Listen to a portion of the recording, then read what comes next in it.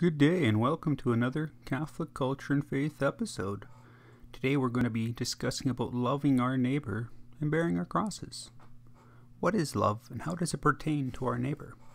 Charity or love is a theological virtue which we love God above all things for his own sake and our neighbors as ourselves for the love of God.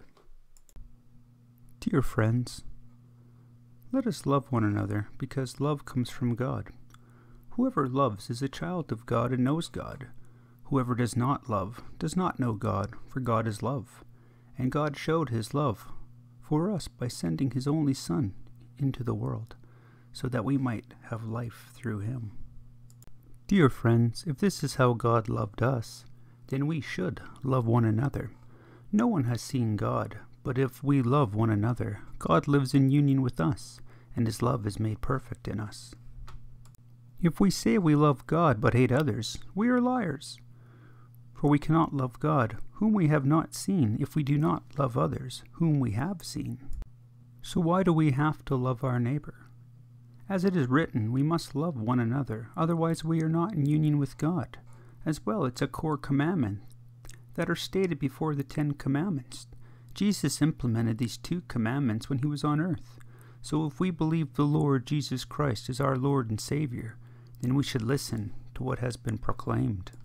Here, let's look at what Jesus said to his disciples in Mark chapter 12, verse 29 to 31.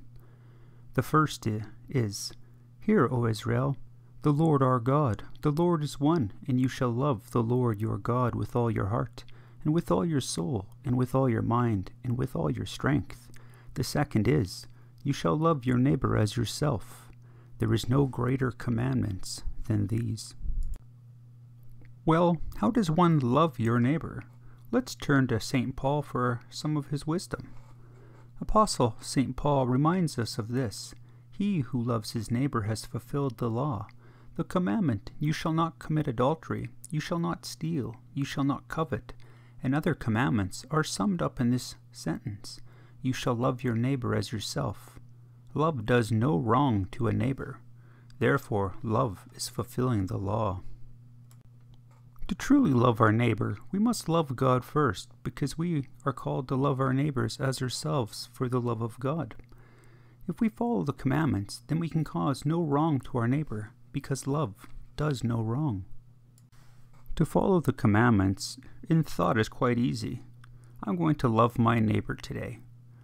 There, that's it. It's over and done now. Now what? Only life was this easy. I'm sure there's many people that have a great connection to God and can do this with perfection, but for many others, it's not so easy, and it takes a bit more time and many prayers to do so. For the rest of us that are having a hard time with loving our neighbor, we must learn to carry our crosses. According to Matthew chapter 16, verse 24, then Jesus told his disciples, If any one would come after me, he must deny himself and take up his cross and follow me. But the question we have to ask ourselves is what does bearing one's cross have to do with loving one's neighbor? It has everything to do with one, loving one's neighbor. Because when you bear your cross, you resist temptations, sins, ethical and moral situations, and breaking the commandments of God. If you love God with all your mind, heart, soul, and strength, you will resist offending or hurting your neighbor out of the love of God. Because love does no wrong to your neighbor. Only with God's love and guidance can we truly live a good life with love for our neighbors. As it is written in Luke chapter 10, verse 25 to 37, the Good Samaritan, it shows us who is the good neighbor and how to inherit eternal life, all in one parable. Listen up and hear some very important teachings the parable of the Good Samaritan. One day, an expert in law stood up to test him. Teacher, he asked, what must I do to inherit eternal life? What is written in the law? Jesus replied. How do you read it? He answered, Love your Lord God with all your heart, with all your soul, and with all your strength, and with all your mind, and love your neighbor as yourself. You have answered correctly, Jesus said. Do this and you will live. Wanting to justify himself, he asked Jesus, And who is my neighbor? Jesus took up this question and said, A man was going down from Jerusalem to Jericho when he fell into the hands of robbers. They stripped him, beat him, went away, leaving him half dead. Now, by chance, a priest was going down the same road, but when he saw him, he passed on the other side. So, too, when a Levite came to that spot and saw him, he passed by on the other side. But when a Samaritan on a journey came upon him, he looked at him and had compassion. He went to him and bandaged his wounds, poured on oil and wine. Then he put him on his own animal, brought him to an inn, and took care of him. The next day he took out two denarii and gave them to the innkeeper. Take care of him, he said, and on my return I'll repay you for any additional expense. Which of these three do you think was a neighbor to the man who fell in the hands of robbers? The one who showed him mercy, replied the law expert. Then Jesus told him, Go and do likewise. Such an educational parable, two great lessons. The first teaches us how to obtain eternal life, and the second teaches us how we should be in life, and how we should act to be a good neighbor to all people that we encounter. But we have to remember to love our neighbors and to remember the great parable, final judgment.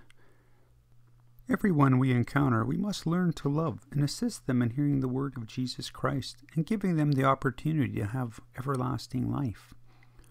If we are having issues with loving our neighbors, we must learn to carry our crosses and to teach everyone else to do the same. How can we bear our crosses, you ask? Well, I think the greatest way to carry our crosses for the love of our neighbor and to resist temptations and sins is to move towards perfection, which would be to pray unceasingly, or in other words, to pray at all times.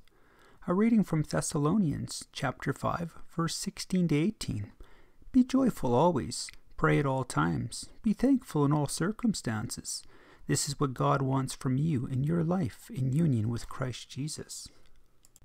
What a straightforward approach to bearing your cross.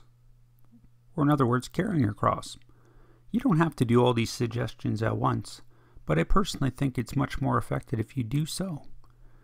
Use what works for you. First point would be remain calm and full of joy. Joy isn't emotional in this sense that we commonly think of joy. Rather, it's a state of being undisturbed by negative things in our life. In other words, for some of you, you might recognize focusing on heaven.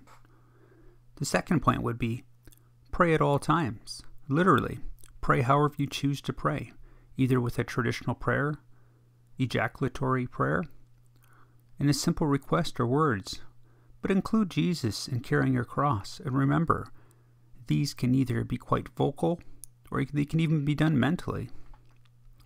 The third point Literally, be thankful in all circumstances. There's a book called Being in Uniformity with God's Will by St. Alphonsus de Liguori, which covers this topic much more thoroughly. As Catholics, we must remember that to love our neighbor isn't just a suggestion, but it's a way of life. If we want to be in union with God, we must learn to carry our crosses and to love our neighbor. And if we falter, learn from our mistakes, and utilize the sacraments, like confession, to help us on our journey. We can do anything with God's guidance, but we must reach out and seek. From all of us here at Catholic Culture and Faith, stay strong, stay faithful, and stay united. We can make this world a greater place, one day at a time.